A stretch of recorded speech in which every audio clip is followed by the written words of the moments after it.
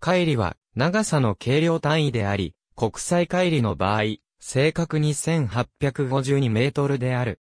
もともとは地球上の緯度1分に相当する長さなので、海面上の長さや航海、航空距離などを表すのに便利であるために使われている。日本の計量法は、その第5条、第2項において、用途を限定する計量単位を特殊の計量単位として認めている。乖離は、この特殊の計量単位の一つであり、海面または空中における長さの計量に限定して使用が認められている。乖離は国際単位系に属さない。国際単位系の公式の国際文書において、1970年から1991年までは暫定的に使用できる単位、1998年には現今は使用できる単位、2006年にはその他の PSI 単位として、航海及び航空における距離を表すのに使用される、特別な単位として掲げられていたしかし2019年の国際文書では、乖離は国際単位系において全く認められなくなった。現在は正確に1852メートルである国際乖離が世界中で使われている。この定義は1929年にモナコで開かれた臨時国際水路会議で採用された。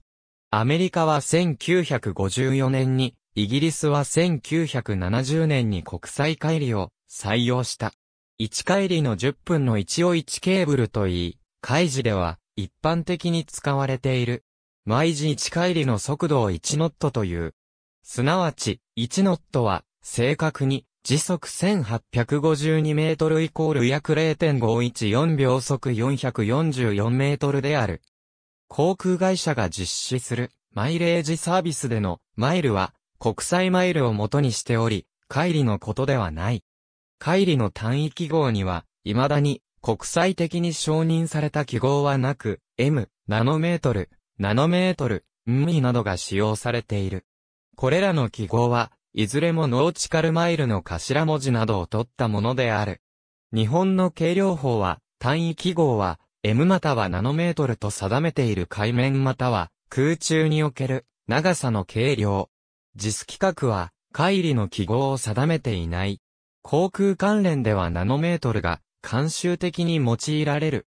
ナノメートルは、国際単位系と日本の計量法では、ナノメートルの単位記号であるが、両者のスケール差は1兆倍以上であり、また使用される状況が全く異なるので、実用上で混同されることは、まずない。アメリカ合衆国においては、 United States Government Printing Office Style Manual が、ミーと定めている。日本では、海上で使われる里という意味で、海里という言葉が作られ、浬という文字が作られた。